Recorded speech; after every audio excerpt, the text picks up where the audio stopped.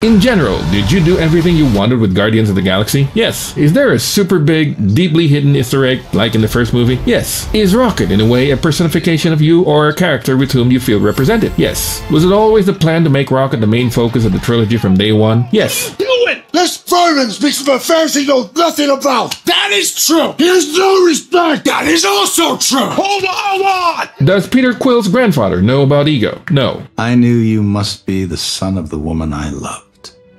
I know that you released a playlist of songs you canonically consider to be on both Awesome Mix volumes. Is there a playlist like that for the Zune? As in every song on the Zune or anything else you considered for the movie soundtrack? Yes. It's not time to make a change.